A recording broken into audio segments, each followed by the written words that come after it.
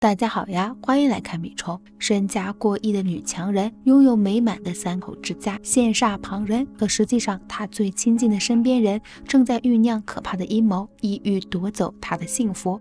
载元被神秘男人推入江中，受了轻伤，需要留在医院静养一段时间。丈夫守在病床前，看似殷勤，却只有载元知道，在他和善的面具下，隐藏着不为人知的真面目。作为智能家具行业里的佼佼者，载元坠江事件引起热议，公司理事长不得不出面压下各种负面新闻。由于事发的时候正当深夜，现场只有一名在江边垂钓的大叔。虽然目睹载元坠入江中，但没能看清行凶者的身影，想查出真相并非易事。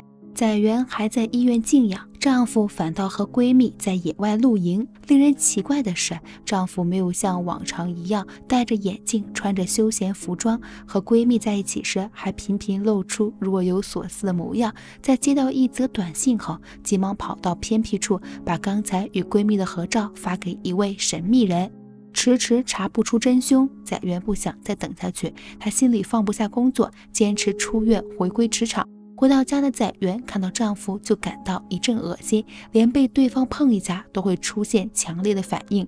除了出轨的丈夫，载元还要面对危险的尹组长以及跟自己丈夫搞婚外恋的闺蜜，心情越来越沉重。继父给载元送来精心熬制的炖汤，想到继父可能就是用这种方式谋害自己的母亲，载元没有丝毫犹豫，直接将炖汤倒掉，连保温壶都扔进了垃圾桶里。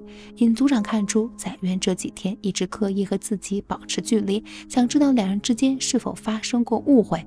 载元不想打草惊蛇，只是含糊的回应，他最近心情很乱，需要一些时间来想清楚事情。处理完公司事务，载元抽时间约见了保险员。对方见载元前后态度变化的如此之快，不禁好奇载元经历了什么事。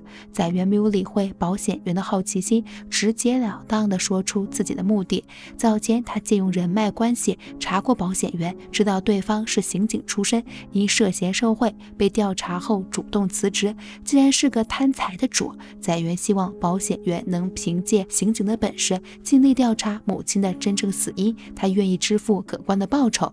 两人都没有察觉到，他们这次见面被有心人暗中拍下了照片。夜里，载元回到家里，从保姆口中得知丈夫还没回来。她第一反应是丈夫可能和闺蜜在一起，于是打通秘书电话，了解到闺蜜还在公司里，这才打消疑虑。随后，丈夫回到家中，谎称自己刚从健身房回来。言语中还透露着对载元的关心。载元看着这个假仁假义的男人，当场怒摔杯子，质问他：明明已经很久没有去过健身房，为何要说谎？丈夫表示自己最近换了新的健身房，是老同学开设的，和旧的健身房在同一栋楼。那条短信的收件人也是他的老同学。由于他还不会熟练使用智能手表，才会一不小心删了信息。理由听起来还算合理。载元突然想到那日守在健身房，看到闺蜜和丈夫亲密的模样。当时丈夫没有戴眼镜，反而穿着正装，展现出与平常截然不同的气质。载元记起丈夫还有位双胞胎哥哥。心有疑虑的载元没有揭穿丈夫和闺蜜的事，疲惫地接受着丈夫的拥抱。处理完家事，载元又让秘书调查尹组长的信息。此人四年前才从美国回来，跟踪事件是七年前开始的。而载元出事当晚，尹组长正在夜店里寻乐，还有同事可以作证。如此看来，尹组长似乎不太可能是跟踪狂。许多天过去，载元还没调查出身边人想对自己不利的证据。面对现在变得一团糟的生活，载元心烦意乱，头又开始隐隐作痛。他想不通自己为何会接连遭遇这么多烦心事。隔天靠吃头痛药才能入睡的载元被秘书的电话吵醒，匆匆赶回公司，却发现原本由自己主持的会议已经被尹组长代为主持。趁尹组长正在开会之际。载元找人调查那辆藏有跟踪狂衣服的车辆，发现车是登记在设计组的名下，平时组员们会轮流使用。这样一来，设计组的人其实都有嫌疑。载元意识到自己可能误会了尹组长，心里对他充满了愧疚。思来想去，还是解除了对尹组长的戒备，并向对方解释自己近期疑心重重的原因。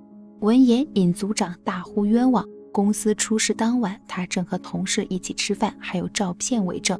载元知道是自己误会了尹组长，诚心诚意向对方道歉。尹组长没想跟载元计较，但要求他取消下午的工作行程，紧接着把他带到自己的工作室里。尹组长除了是一名设计师，同时还是个画家。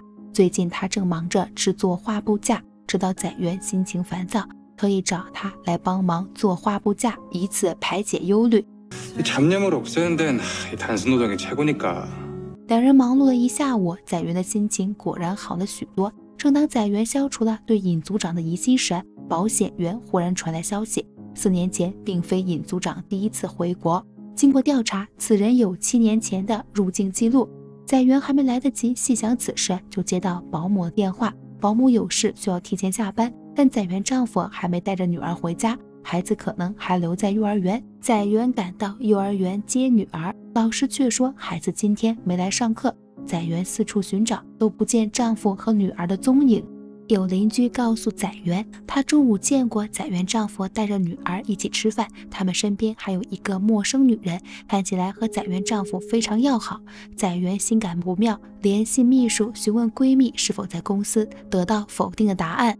夜里，载元失魂落魄的回到家，见女儿已经在房间里熟睡，这才放下心来，转头逼问丈夫今日和谁在一起。丈夫谎称女儿今天不想上学，父女俩一直在外面散心。丈夫以为载元生气，是因为没有及时接到通知。载元面对整天装傻充愣的丈夫，实在是忍无可忍。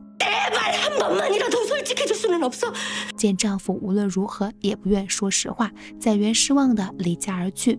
恰在此时，一位老同学给载元打来电话，提醒他记得来参加校友会。大家齐聚一堂，连载元的闺蜜也早早到场了。载元无法从丈夫口中问出实情，决定找到闺蜜当面对质。载元压着一肚子火气，刚来到校友会就灌了自己一杯酒，询问闺蜜有什么秘密瞒着自己。闺蜜不明就里，没有给出正面的回答。载元面对如狐狸精般的闺蜜，不打算给她留情面，当众说出她前男友已婚的事，在老同学面前让她难堪，还暗讽她一直很关注自己的丈夫。闺蜜只当载元喝醉酒在说胡话，实际上把脸转到一边，极力隐藏自己复杂的心情。载元难以排解心中的苦闷，只能一杯接一杯的喝下苦酒。一日，载元醒来，收到丈夫的消。消息得知有一份文件被快递送到家里，放在了书房的抽屉内。就在昨日，载元丈夫眼看邻居走出门，立马换上休闲服装，摘手表，戴眼镜，东张西望，鬼鬼祟祟的来到自家书房，把一份文件放在抽屉里，随后从家中离开。碰到遛狗回来的邻居，没有打招呼，径直向前。载元找到文件，打开一看，发现是一份房屋登记的副本。文件显示，继父在领取载元母亲的保险金后，花五亿全款买下一套房子，现在以全租房的名义转租给载元的闺蜜。载元火速赶到该小区门口，正好看到闺蜜经过，走进屋内。更让人惊讶的是，丈夫也带着女儿出现，进入了同一个地方。载元再次证实，闺蜜和丈夫一起背叛了自己。她所有的理智都被痛苦覆盖，一路猛踩油门，差点撞上路人，好在最后一刻及时刹住了车。想到属于自己的幸福家庭成为了别人的三口之家，载元难过的无法自拔。本集结束，好啦，今天就到这里了，欢迎点赞、留言、关注米虫的看剧和煲剧频道，每天定时打卡米虫，一整天嘴角小弯弯哟，拜拜。